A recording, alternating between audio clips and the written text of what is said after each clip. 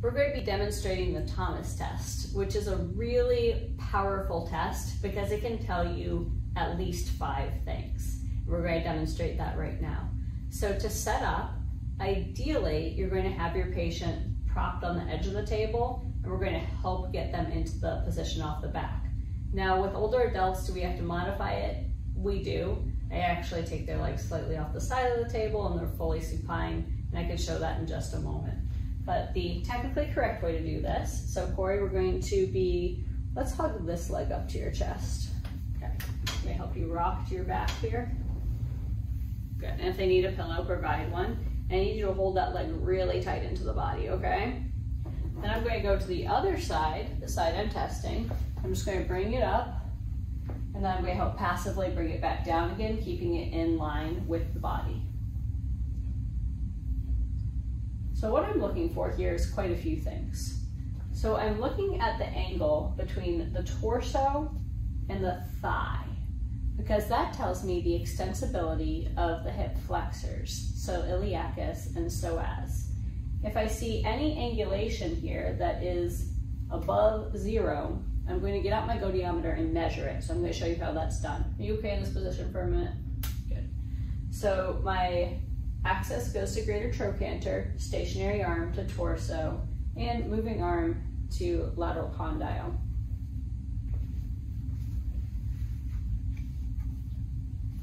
Corey actually doesn't have any angulation here, but if a patient's tight, it's going to go in this direction.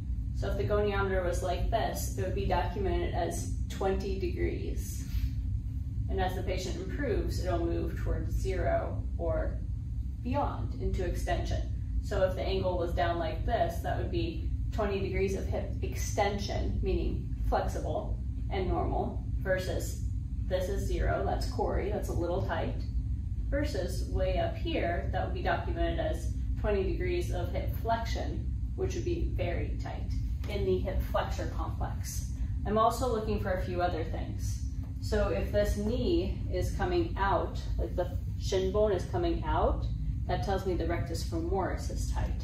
And that can be also confirmed with your Ely test. So I can measure at the knee for rectus femoris tension.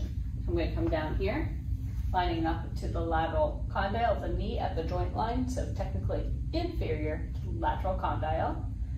Moving arm, sorry, stationary arm, lined up to greater trochanter, moving arm lined up to lateral malleolus.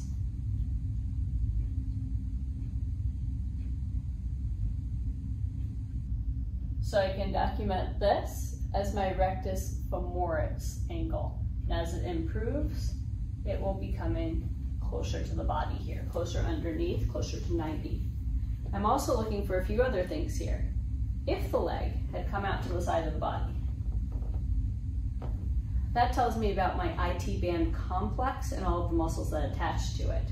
So go ahead and hold your leg there. We're going to pretend that's your, your real compensation. So if that was tight, I need to measure hip abduction. So I'm going to come across the iliac crests, the ASISS with my stationary arm, my moving arm right through the center of the hip, on the axis, and then down towards the center of the patella. Now, a lot of times you're not truly going to be able to get in on the ASIS, so you actually end up going a little bit higher and then kind of sliding in and then lining it up.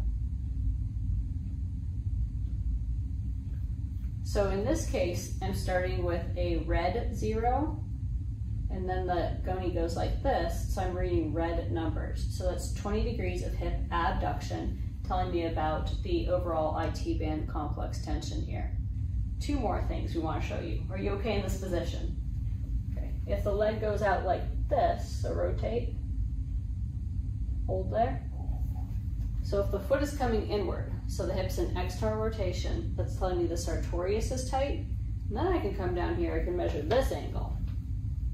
So stationary arm parallel to floor, axis center of patella, moving arm center of ankle, talocrural joint on the anterior side. So this one tells me that I have 18 degrees of rotation, telling me the sartorius is tight. Now if I saw it rotate the other way, internal, that's TFL tension.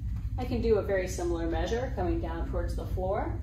stationary arm to floor, axis to patella, moving arm to center of ankle, and this is actually telling me that I have 10 degrees of internal rotation for TFL tension.